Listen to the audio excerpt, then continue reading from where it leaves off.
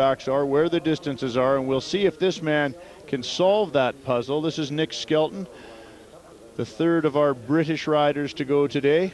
One has been clean in the form of Mark Armstrong. Michael Whitaker is out of competition now by virtue of his eight fault performance. Nick Skelton looking to put the Union Jack now into the jump off. Well, this course should be right up Nick's alley. There's lots of rollbacks, places where he can be really tight with his turns, which his horses excel at. Not too many places to get galloping. And this is a real useful horse, Pandur. There's a little bit of everything. Very quick. Horse galloping along nicely. Nick sits him up, gets him into the turn. Holds him up and then puts the pressure on to get the jump out of the horse.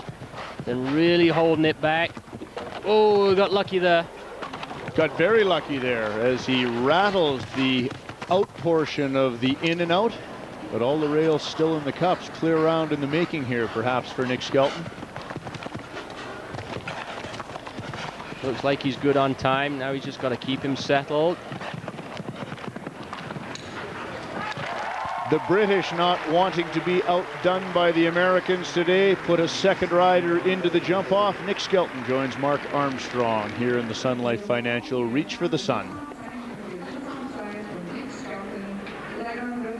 A bit touch and go in places, but Nick should be happy.